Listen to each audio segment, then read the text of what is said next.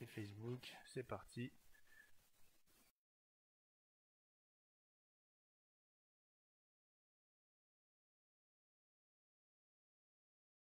Mais pourquoi ça marche pas sur YouTube? Va vérifier.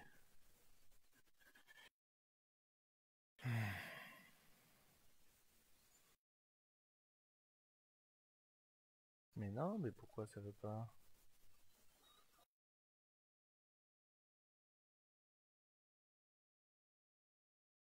Eh ben...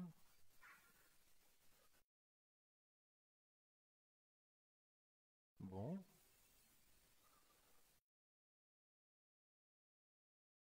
Bon, bon, bon. Alors, sur YouTube, ça va fonctionner, il faut juste que je change le titre. Hop, voilà. Ah, mais c'est parce qu'il y a un truc de programmé, c'est pour ça.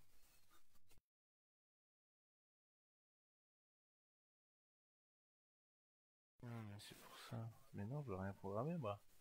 Bon, c'est pas grave.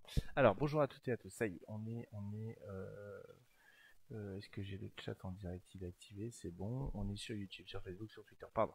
Excusez-moi pour le, petit délai, le temps que je fasse quelques réglages. J'ai un petit bug avec YouTube.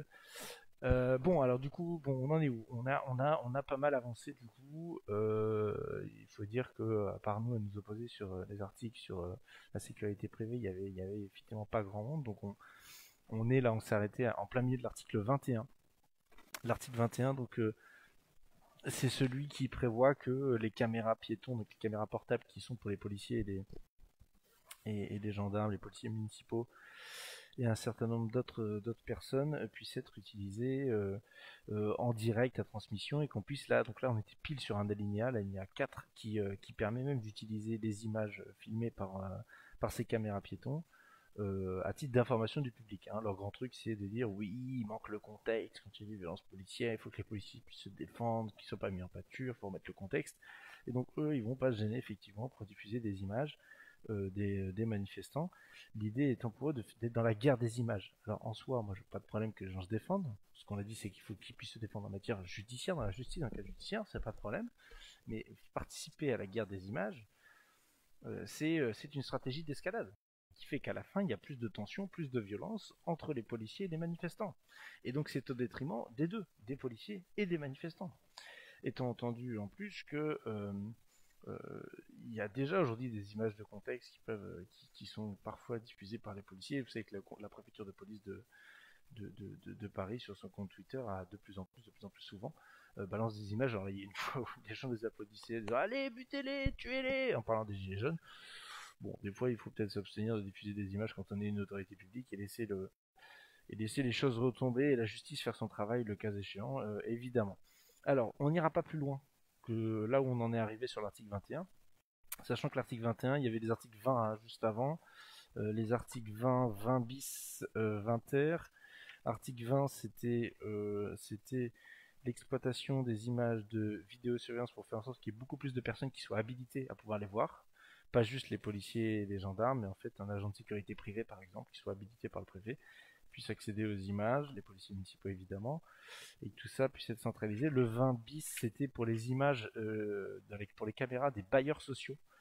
Euh, D'ailleurs, je vais vous augmenter un petit peu le son parce que je pense qu'il est, un peu faible. Pardon, pardon. Voilà, les images des, bailleurs sociaux, euh, de sorte à ce que ils puissent retransmettre en temps réel s'il y a des troubles dans le dans un hall d'immeuble. Enfin, l'idée c'est les halls d'immeuble jeunes qui sont là. Il faut qu'on puisse filmer en direct pour les appréhender. Du délire total. On travaille pas sur les causes et on, on étend encore les pouvoirs de, de filmer. Le 20 ter, euh, c'était pour qu'ils puissent avoir accès euh, que les agents de la SNCF et de la RATP euh, puissent être désignés du moins habilités par le préfet de département pour visionner les images dans les salles de commandement placées sur la responsabilité de l'État. Donc là, on donne la capacité à d'autres d'utiliser les images et il y a d'autres articles plus tard qui permettent à l'État d'utiliser, de capter les images de la SNCF et de la RATP. Euh, donc c'est vraiment Big Brother is watching you quoi. Et Big Brother c'est euh, beaucoup d'agents, beaucoup de gens euh, qui n'ont pas forcément nécessité à en connaître et surtout pas la justice en fait. Il n'y a aucune garantie judiciaire dans, dans, dans tout ça. C'est quand même assez euh, assez lunaire euh, et assez dingue. Euh... Qu'est-ce que je peux vous dire d'autre? Donc là, on est sur l'article 21 et on n'ira pas plus loin. On est en train de parler de la ligne A4 justement, et en fait, on n'ira pas plus loin puisque le ministre a décidé de réserver un article, c'est-à-dire il utilisait un, un moment du règlement pour dire qu'il y a un article qu'on va examiner à une heure précise pour pas que ça tombe en plein milieu de la nuit, etc. Et devinez quoi? Bah, C'est l'article 24 euh, l'article 24 de notre de ce texte, celui qui euh, crée un nouveau délit si vous filmez les policiers et les gendarmes en vue de porter atteinte à leur intégrité psychique et physique. Alors, juste pour vous dire, sur la, très courte actualité euh, sur le sujet, ils se sont embrouillés à l'intérieur de la majorité, ils se sont vus, revus entre eux, etc. pour tout ça pour dire pour dire que finalement ils allaient ajouter ils allaient ajouter le mot manifestement manifestement en vue de porter atteinte à l'intégrité physique et psychique. Bon, euh, en, droit, en fait, certes, ça vous apporte une garantie quand vous serez devant le juge pour pas vous faire condamner. Donc ça, c'est vrai.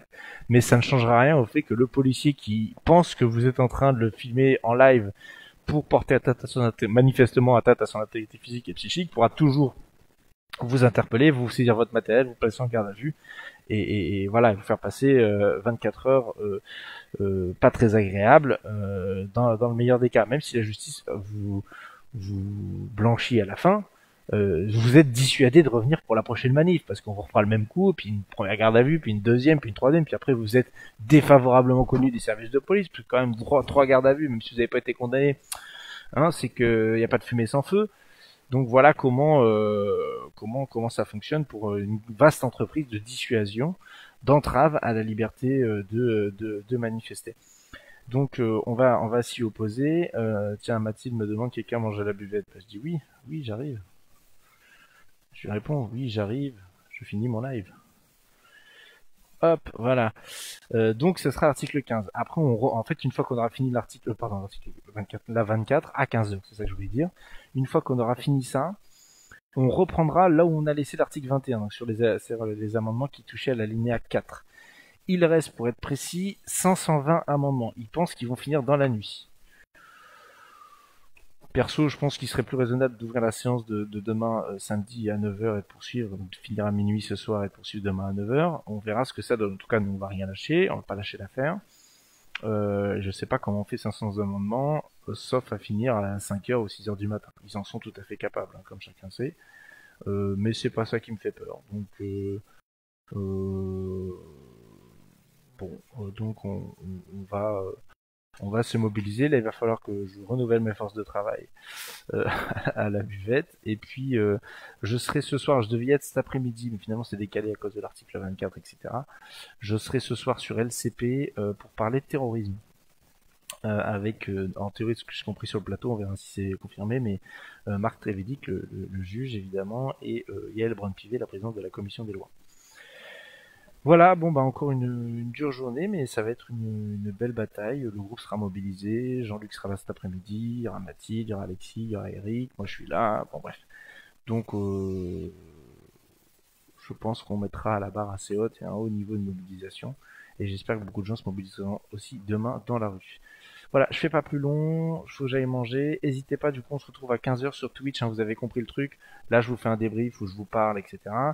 Euh, et, euh, et, en fait, pendant la séance, moi, je suis en live sur Twitch. Je vous, je vous demande de regarder le live de l'Assemblée de votre côté, parce que pour ma connexion, c'est plus simple, je vous passe les détails. Et, et on échange sur le chat. Euh, autant que faire se peut, parce que j'essaie de suivre aussi la séance évidemment et d'intervenir. Je ne peux pas te répondre tout le temps à vos questions, mais ça vous permet aussi vous d'échanger entre vous et de regarder ce qui se passe euh, dans l'hémicycle et de bien comprendre euh, les enjeux de ce texte liberticide et autoritaire. À tout à l'heure. On lâche rien.